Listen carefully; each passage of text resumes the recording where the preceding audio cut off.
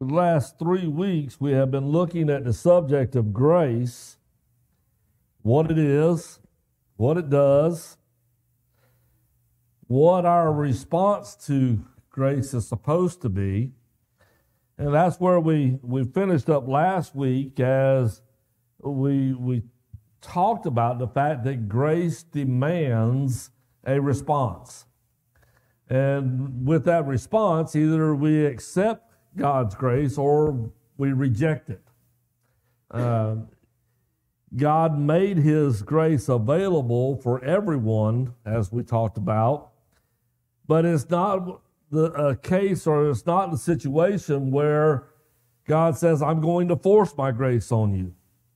It's available, but you've got to choose, take that uh, gift in, and choose to make that a part of your life. And God, it's the same pattern God has used throughout the history of man in that God has always made gifts available to man. And in most cases, he requires a response. We mentioned last week Naaman dipping in the Jordan River seven times. And the response was either you dip and you are cleansed of your leprosy, or you stay out and you stay uh, with that disease. Uh, you think about Israel as they were marching into the promised land. God was delivering to them a city that, by every measure of the world's standards, couldn't be taken.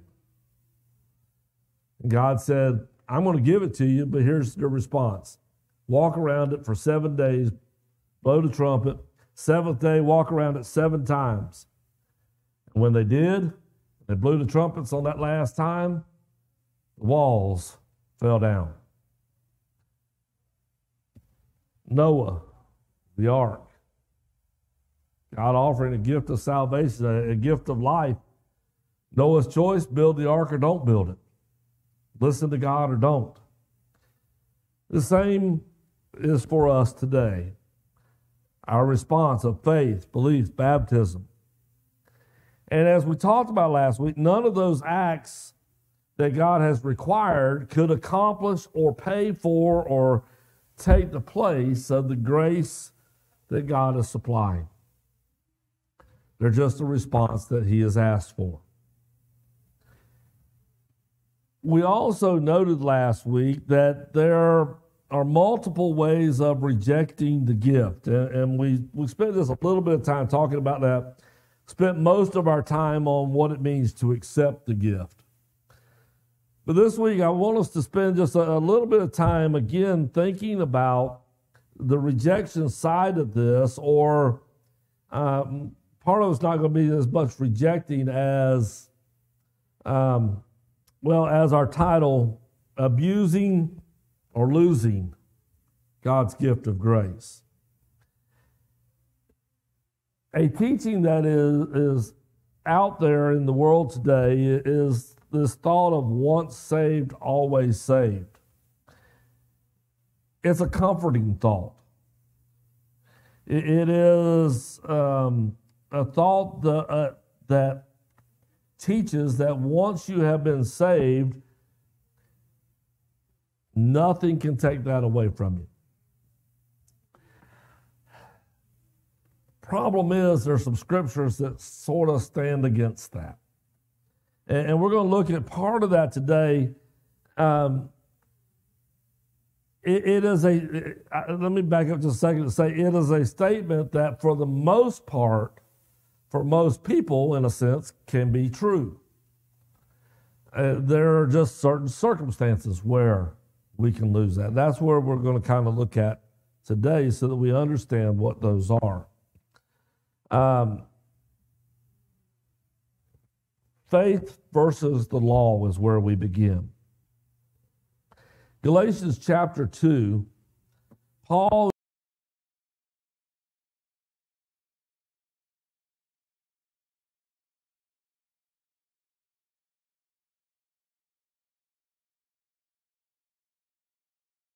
grown up knowing to observe the law of Moses, but who have now come out of idolatry and paganism to accept Christ as their Savior.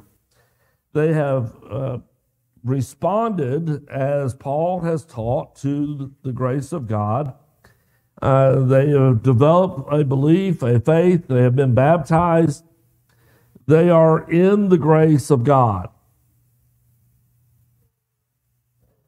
But as Paul writes to them, he is dealing with a group of Jewish Christians who are now telling those Gentile Christians, you have got to keep the law. You've got to go back, you've got to be circumcised the way the law of Moses said that we are to be circumcised. You've got to keep food laws that the law of Moses said we've got to keep. You've got to keep feast days and festivals and fast and, and all these different things that were under the law prior to Christ. So let's see what Paul has to say as he writes to them. Galatians chapter 2, beginning verse 15. We who are Jews by birth and not sinful Gentiles know that a person is not justified by the works of the law but by faith in Jesus Christ. So we too have put our faith in Christ, just uh, that we may be justified by faith in Christ and not by the works of the law. Because by the works of the law, no one will be justified. But if in seeking to be justified in Christ, we Jews find ourselves also among the sinners, doesn't that mean that Christ promotes sin? Absolutely not. If I rebuild what I destroyed, then I really would be a lawbreaker. For through the law I died to the law so that I might live for God. I have been crucified with Christ. And I no longer live, but Christ lives in me. The life I now live in the body, I live by faith in the Son of God who loved me and gave himself for me. I do not set aside the grace of God, for if righteousness could be gained through the law, Christ died for nothing. We, we look at this passage because as, as Paul begins laying this out, he, he's establishing, once again, just as he did in the Roman letter, we're saved by faith. It's not by works. I, I can't do anything to earn this. And so he's telling, even as Jews, we should know we can't be saved by keeping the law. We couldn't keep the law good enough. That's why Jesus came in the first place. So why are we trying to come back now and tell somebody else you've got to keep the law to be saved? We couldn't do it ourselves. And, and so as he begins this, he, he says, We know that's the case. We know it has to be by faith in Christ. We know that the law will in itself never save anyone.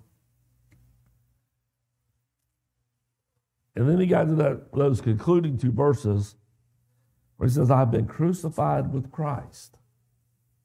Well, how did he say to the Romans that we do that? Romans 6. Those of us who have been baptized have been crucified with Christ. But he says, I no longer live. Uh, the me that was died at that moment and was buried with Christ. He talked about there in Romans 6, being buried with Christ, resurrected with Christ. But he says, now Christ lives in me. The life that I'm living, I live by faith in Christ. It's not about me keeping the law. It's not about how perfectly I keep it or trying to keep it. It's not about what feast days I celebrate. It's not about circumcision. It's not about any of those things. He's laying the case for them to understand that has to be our understanding.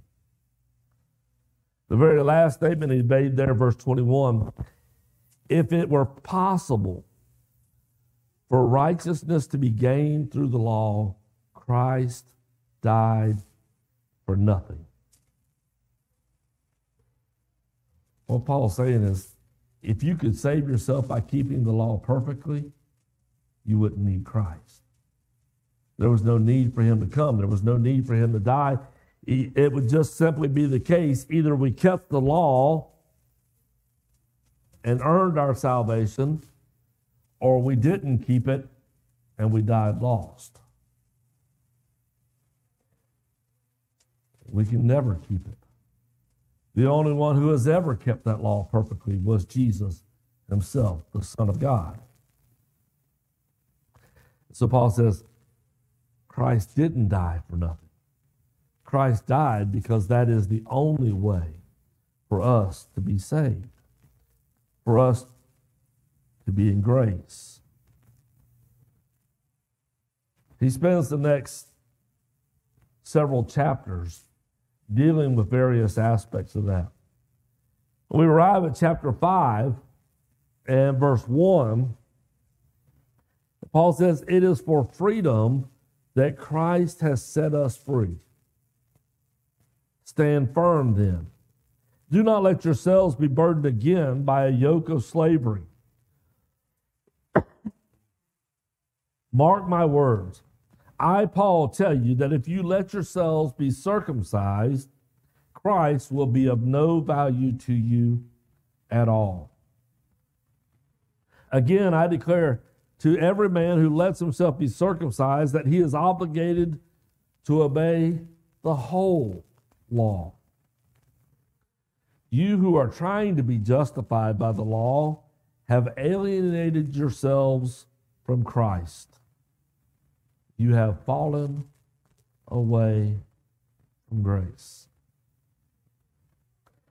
For through the Spirit we eagerly await by faith the righteousness for which we hope. For in Christ Jesus neither circumcision nor uncircumcision has any value.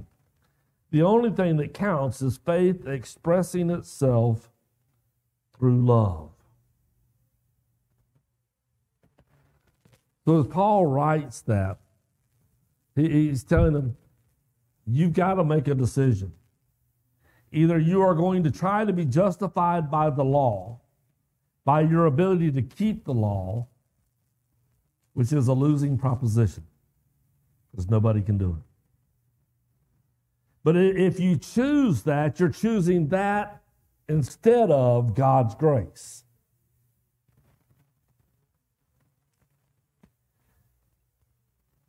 if you listen to those telling you you've got to be circumcised to be saved, if you're listening to those that are telling you you've got to keep feast days and food laws and, and, and all these other works that were spelled out under the law of Moses,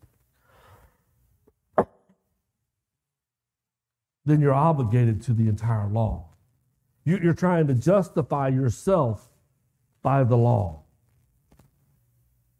It's a very similar thing. Uh, one of the early lessons I, I mentioned, we, we, sometimes we, we get this checkbox mentality. We're, we're going to keep a list of what I've done right in this column and what I've done wrong in this column. And every time I do something wrong with the checkbox mentality, it says, okay, I've got to put a checkbox in the good column to, to counteract that bad spot. And if when I reach the end of life, I've got as many or more good marks as I have bad marks, I'm good to go. Well, that was the mentality of trying to keep the law. It was, excuse me, it was the thought, uh, I can keep these laws. I, I can I, you know, I can remember feast days, I can do that. And besides, the law has built into it that if I forget that, I offer a sacrifice and that wipes it out and I'm right back to start. You've got to keep that every day of your life until the final day of your life.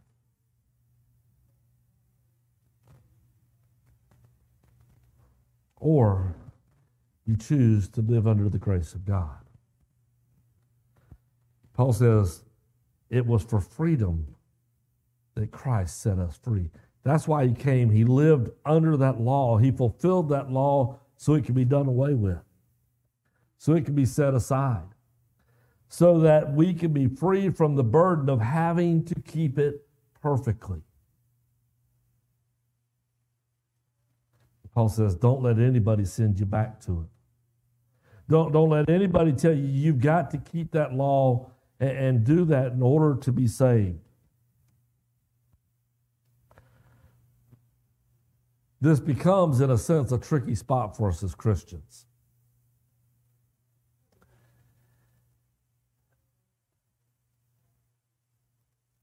We realize when we look at the law, there, there were the law of Moses fell into a lot of different components. There were moral laws, there were civil laws, there were health laws, all these different things.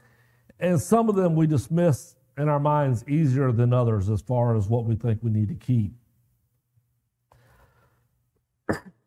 We get to the moral laws of it, though, the Ten Commandments and and the, some of the other aspects of what's right what's wrong, what's sinful and what's not sinful.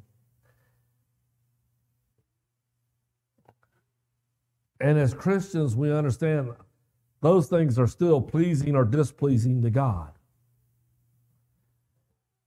Those things are things that still should be in my life in some form or fashion if I'm going to be a righteous person in God's sight. And, and so that, that becomes this problem for us because we, we have to walk this balance of understanding I'm not saved because of my ability to keep those things or add those things as part of my life. Jesus freed me from that in the sense of having to do that to save myself. I'm saved by His grace.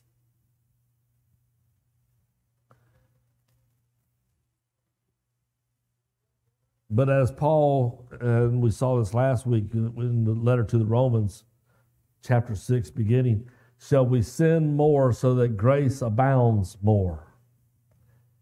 Because what it begins to sound like Paul is saying is God freed us from all law, from any acts of goodness. All we have to do is have the grace of God, and then we can just live. And that's not exactly right either because that is part of our response to grace. That was Paul there in Galatians 2 talking about, I died with Christ, but now I live, but it's not me, it's Christ living. I respond by accepting grace. I do those things that God tells me to accept grace, and then my life is supposed to be being changed to begin including all of these things that were part of the law but not added to my life in such a way that I think I've got to keep them in order to be saved. I keep them because I'm saved. I keep them because God is changing my life to become more like Christ. I, am doing those things because I, I'm striving for it to be Christ living in my place, just as He died in my place. So I want those things to be a part of my life.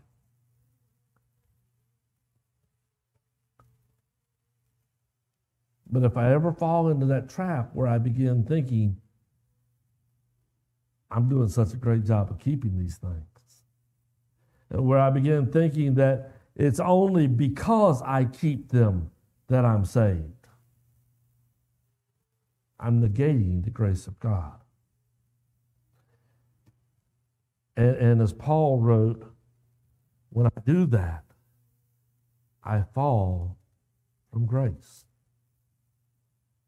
What does it mean to fall from grace? It means to lose the salvation that grace gives us. Why? Because I chose to take my faith from being in Christ to putting it in myself and my own ability to live this way.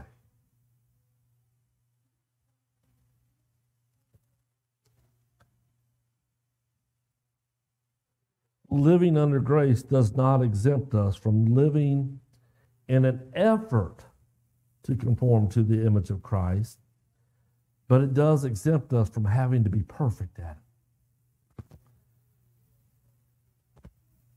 Drop down and look at verse 13, Galatians chapter 5. You, my brothers and sisters, were called to be free.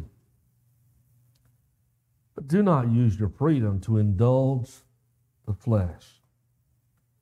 Rather, serve one another humbly in love. For the entire law is fulfilled in keeping this one command love your neighbor as yourself. If you bite and devour each other, Watch out, or you will be destroyed by each other. So I say, walk by the Spirit, and you will not gratify the desires of the flesh.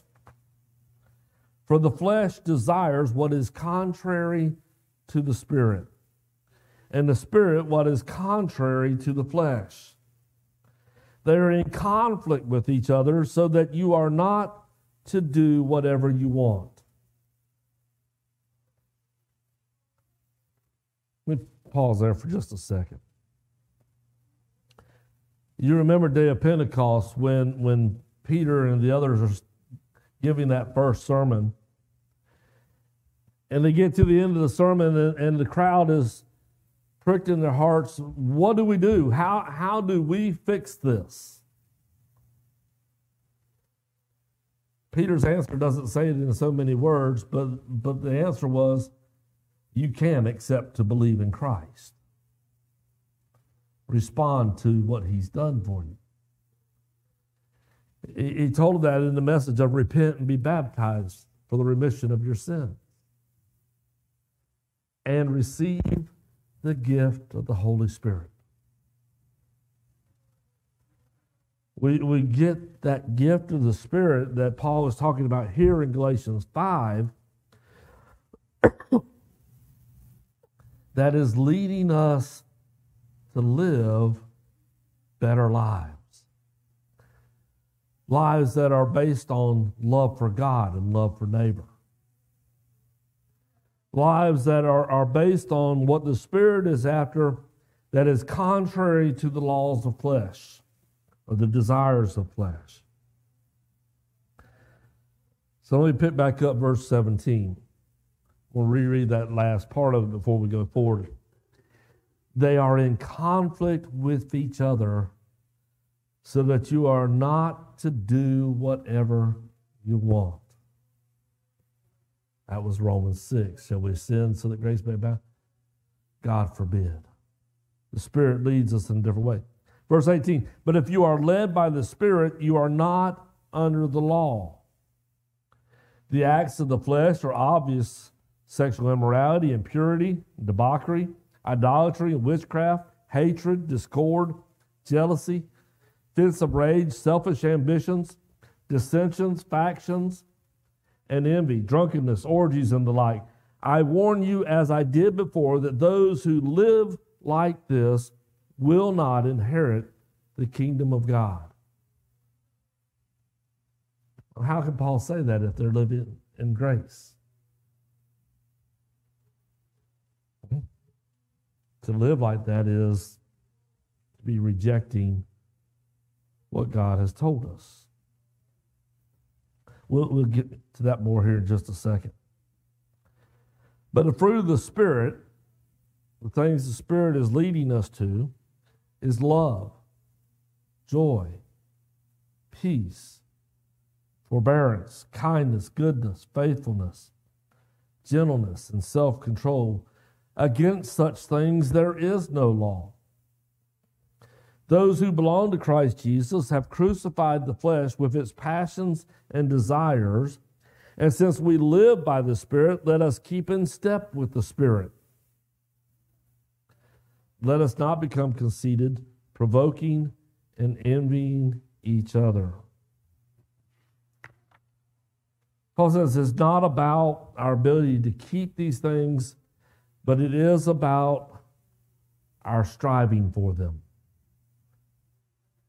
I don't have to keep it perfectly. I never will. I'll never uh, fully accomplish that. The grace of God makes up for that. And so, what Paul begins to introduce is, is the ideal that there is a difference, however, between failure and abuse. I, I can reject God's grace outright, or I can choose to, to live under it and, and strive to, to live by the Spirit,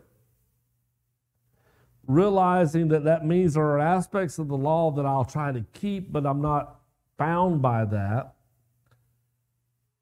And that there's going to be times that I'll fail. And the grace of God will clean me up and present me back whole before God. But there's a difference between that and abuse.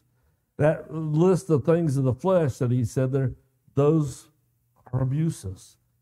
And we see that brought out more in the Hebrew letter, Hebrews chapter 10, verse 26. The Hebrew writer says, If we deliberately keep on sinning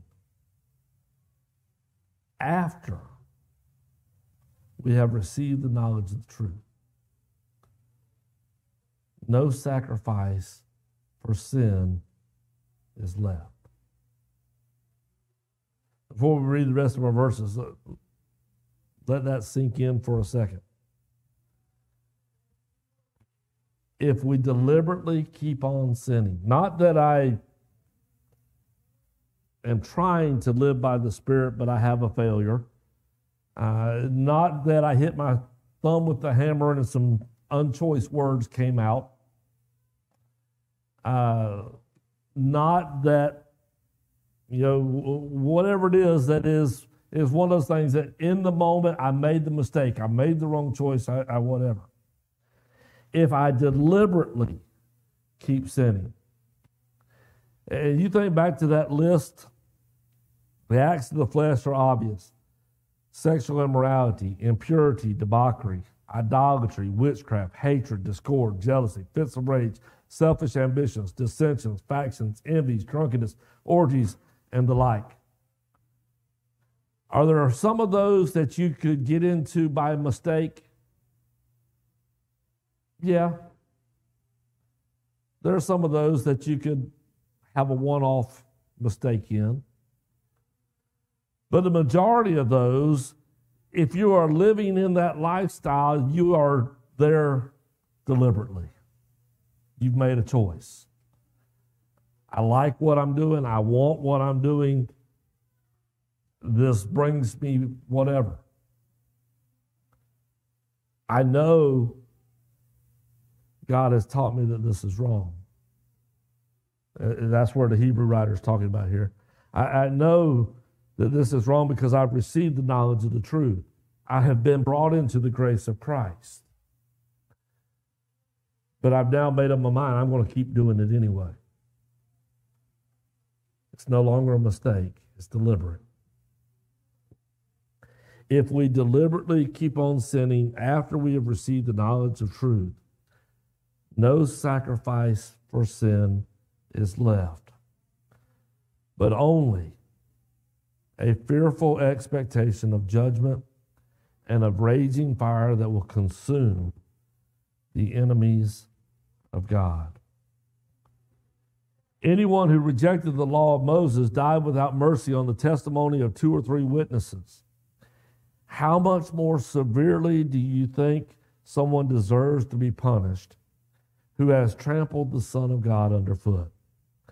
Who has treated as an unholy thing the blood of the covenant that sanctified them, and who has insulted the Spirit of grace?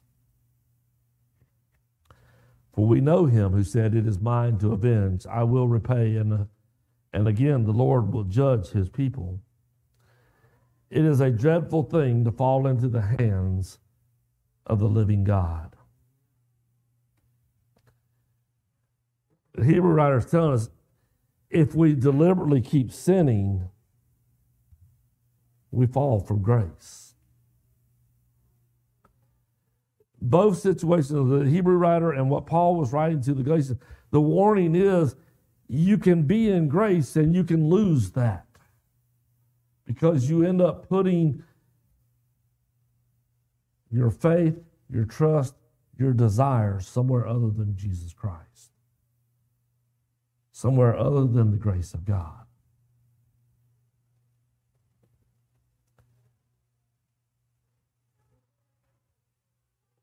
For us to be saved by grace,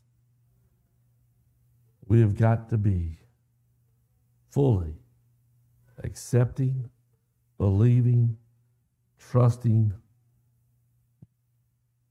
in the grace of God.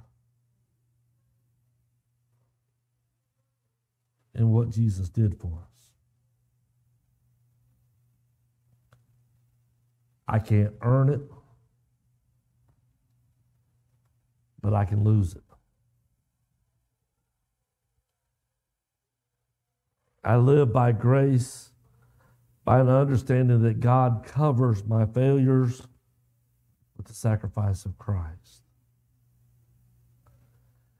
Because He does, I don't have to live under the burden of trying, uh, the burden and the pressure of, of never messing up.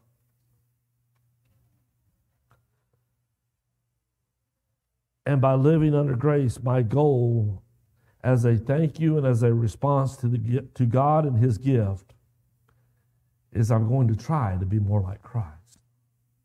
I'm going to try to live more by the things that you have told me are pleasing in your sight, more in the way of the things that the Spirit leads me to do to love God, to love my neighbor, to make everything around me better because I'm better by the grace of God.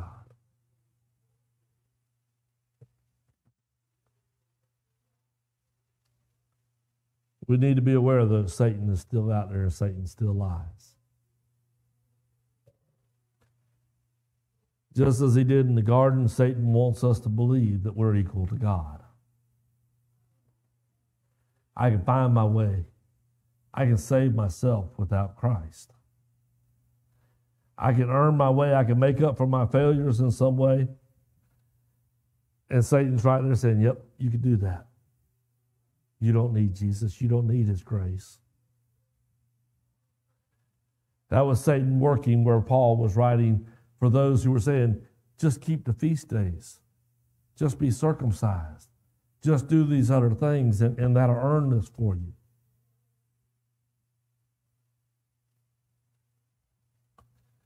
Satan's also there every time that we fail to tell us, see, that just proves you're too bad for the grace of God. You're, you're so bad, you don't deserve God's grace, and you can never have God's grace. He wants to make us feel guilty to the point that we reject the forgiveness. Don't listen to the lies. God's grace can save you. Even as we talk about these, these things that we could put our hope in, sometimes we mess up and do put our hope in even though we have these moments where we, we fail to fulfill what we know is moral and right in the sight of God, and to a certain degree, even when we get into this deliberate stuff, if we're drawing breath, there's a hope we can get back out of that. Though Satan will try to tell you otherwise.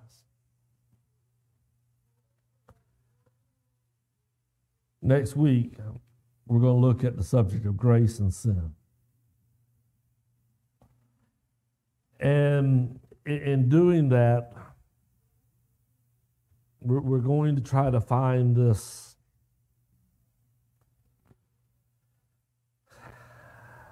balance, I guess I want to say, of understanding how dangerous sin can be. but also how forgivable sin is.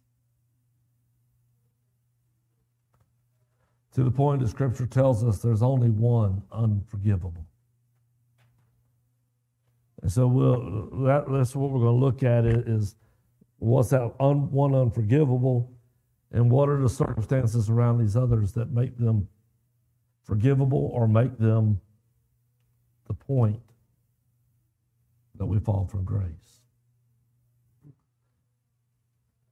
As far as I know, that's going to wrap up our grace series.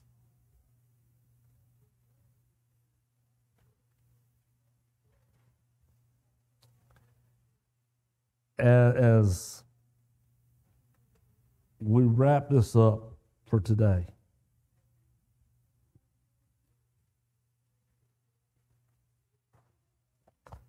God's grace is available. It is there for every person to accept. And I guess I, leave off this morning with the same question I left off with last week. Have you accepted the grace of God? Or have you in some way been rejecting it? Are you living in the grace of God? Or have you in some way put yourself in a position to be fell from grace?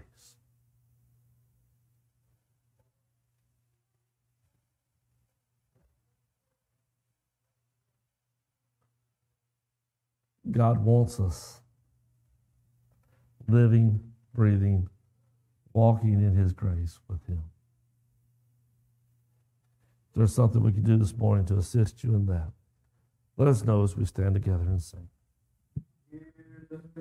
Vanity and pride, caring not my Lord was crucified.